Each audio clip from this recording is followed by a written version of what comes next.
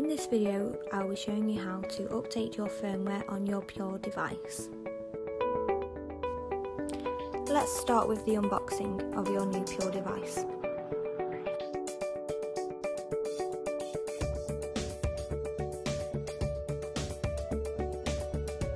In the box, you will find the 3 pin plug, a pin reset, a dash mount, 12 volt plug and the Pure device itself.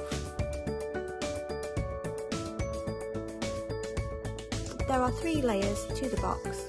The second layer contains a screen wipe and also a carry pouch.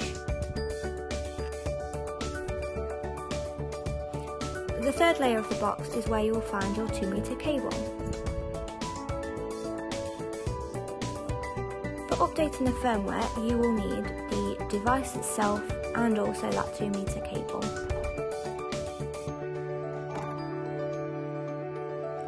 First, we need to download the Updater application. Here's how.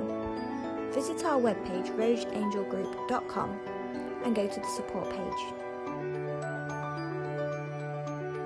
Scroll down until you see the picture of the Pure device.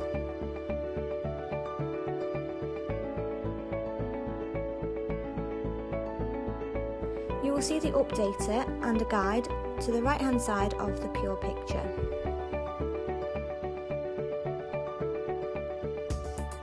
Select the updater and it will start to download straight away.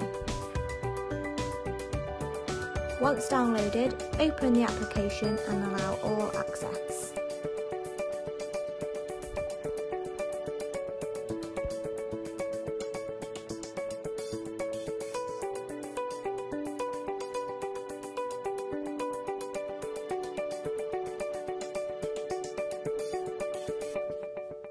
You are now ready to plug in your device.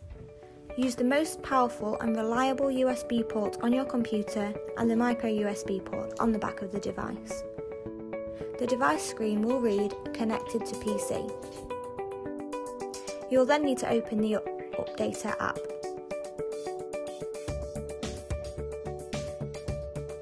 Once the device is recognised, the Update Now box will show in blue. This means we're ready to update.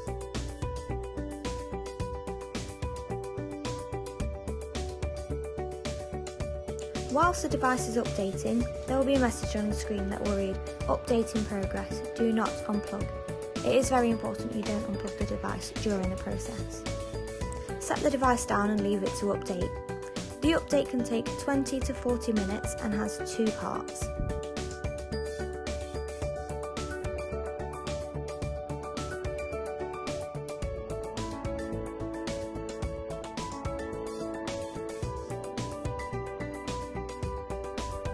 Once complete, your device will tell you it's okay to unplug.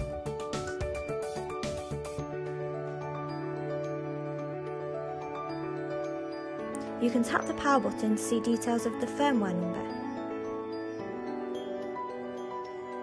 You're all set. Thank you for watching.